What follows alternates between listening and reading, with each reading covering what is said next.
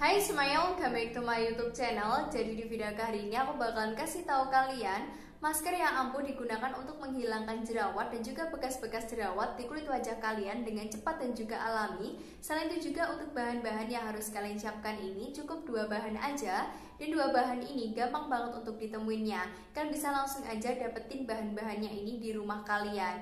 Dan untuk masker ini sangat aman dipakai untuk kalian yang masih remaja maupun anak sekolah. Dan aku sangat rekomendasikan kalian untuk memakai masker ini karena aku telah membuktikannya sendiri dan hasilnya itu emang benar-benar bagus. Nah ini dia adalah foto sebelum dan juga sesudah aku menggunakan masker ini. Benar-benar bagus banget kan hasilnya. Nah pastinya aku penasaran banget kan apa saja sih bahan-bahannya dan bagaimana sih cara pembuatan maskernya. Makanya kalian harus nonton dan sampai habis dan jangan sampai ada yang di skip ya guys. Oke? Okay?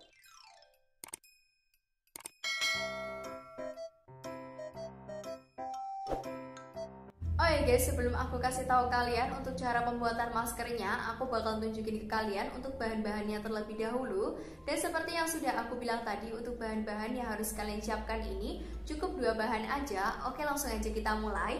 Nah, jadi untuk bahannya pertama yang harus kalian siapkan adalah teh celup. Nah, untuk teh celupnya sendiri kan bisa menggunakan merek apa pun. Nah, untuk kali ini aku bakal menggunakan teh celup cap botol. Nah, kalian hanya perlu menyiapkan satu bungkus aja. Dan lanjut untuk bahan yang kedua yang harus kalian siapkan adalah aloe vera gel. Nah untuk aloe vera gelnya sendiri kalian bisa menggunakan merek apa pun. Nah untuk kali ini aku bakal menggunakan aloe vera gel dari produknya Herboris. Ini harganya itu sangat terjangkau. Satu botol seperti ini aku beli harganya itu cuma Rp28.000 aja. Kalian harus memilih aloe vera gel yang cocok di kulit wajah kalian. Dan untuk alatnya yang harus kalian siapkan adalah wadah dan juga kuas masker yang nantinya bakal kita gunakan untuk meracik maskernya. Nah langsung aja kita mulai. Jadi untuk cara pembuatannya sendiri pun bener-bener gampang banget.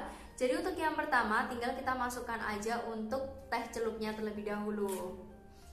Nah kita buka dan kita tuangkan semua isi teh celupnya ini ke dalam wadah. Nah seperti ini. Nah jika sudah kemudian tinggal kita masukkan aja untuk aloe vera gel. Nah untuk aloe vera gel ini manfaatnya itu banyak banget. Dapat digunakan untuk menghilangkan jerawat, menghilangkan beruntusan, menghilangkan bekas-bekas jerawat. Bahkan bisa juga digunakan untuk mencerahkan, mengglowingkan, melembabkan dan juga menutrisi kulit wajah kalian. Nah untuk aloe vera gelnya ini secukupnya saja. Yang terpenting nanti maskernya itu tidak terlalu kental dan juga tidak terlalu cair. Nah jika sudah kemudian tinggal kita aduk-aduk aja hingga kedua bahan ini tercampur rata. Nah, jika semua bahannya itu sudah tercampur rata, nanti hasilnya itu bakalan jadi seperti ini, akan membentuk seperti pasta. Nah, jika sudah seperti ini, kemudian tinggal kita aplikasikan aja merata di seluruh kulit wajah kalian dan kalian juga harus mengutamakan di area-area yang ada jerawat dan juga bekas jerawatnya. Nah langsung aja aku bakalan aplikasikan di kulit wajah aku. Tetapi sebelum kalian mengaplikasikan masker ini di kulit wajah Pastikan wajah kalian tuh harus benar-benar bersih terlebih dahulu. Jadi sebelum kalian menggunakan masker ini Kalian harus ngebersihin kulit wajah kalian terlebih dahulu Dengan menggunakan milk cleanser ataupun micellar water. Kemudian kalian mencuci muka kalian dengan menggunakan facial foam Baru kalian menggunakan masker ini. Dan berhubung sekarang ini aku nggak pakai skincare dan juga make up apa pun Jadi langsung aja aku bakalan pakai dan untuk kali ini aku bakalan pakai kuas masker aja biar lebih gampang. Kalian juga bisa mengaplikasikannya itu pakai tangan, tetapi sebelum kalian mengaplikasikannya itu pakai tangan, kalian harus mencuci tangan kalian terlebih dahulu agar bakteri dan juga kuman yang ada di tangan kalian itu tidak berpindah di kulit wajah kalian. Nah, oke langsung aja kita aplikasikan. Nah saat pertama kali diaplikasikan di kulit wajah itu ada sensasi dinginnya gitu bener-bener enak banget.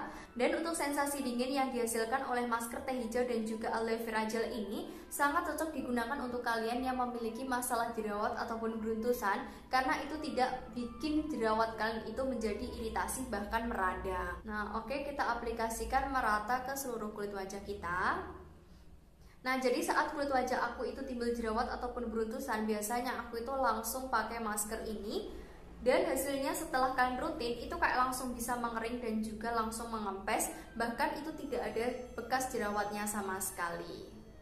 Dan selain dapat digunakan untuk menghilangkan jerawat, beruntusan dan juga bekas-bekas jerawat, nah masker ini juga sangat bagus juga digunakan untuk menghilangkan noda-noda hitam pada kulit wajah kalian.